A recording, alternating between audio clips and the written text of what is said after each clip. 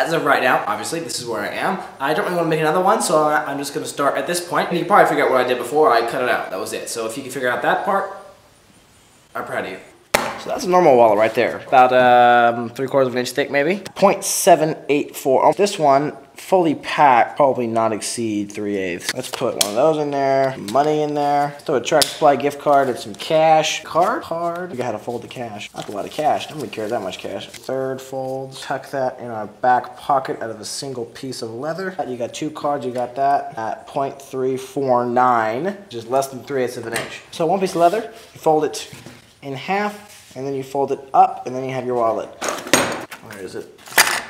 We gotta poke a holes. Poke a hole. We gotta poke a holes in this thing. Sure, we gotta poke a holes. Perfect. Now, these don't need to go all the way through even. They only need to go through three layers. That's fun. And my geometry's messed up, probably. I think we'll be okay. No, wait. It does need to go all the way through on one side. Other side doesn't need to.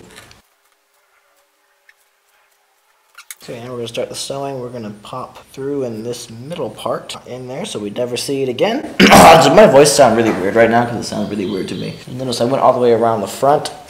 I did not go back in the same side or in the opposite side actually.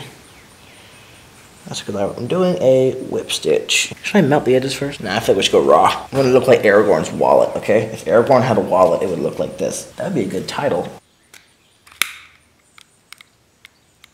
Is bent. Wax.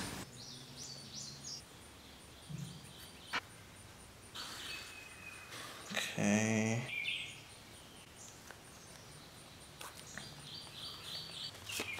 Card in the front, two cards in the front.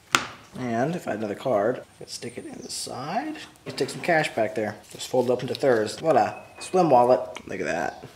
0.23, barely over a quarter. Actually, that's less than a quarter. It's a thin wallet. If you came this far in this dumb video, you should definitely subscribe so you can see more videos just as dumb as this one. And like, and like this video so I know you liked it because you came this far in this dumb video. Anyway, please comment and tell me what you liked, what you hated, everything you did right, everything I did wrong. But as always, I'll see you in the next one. But as always, I'll see you in the next one.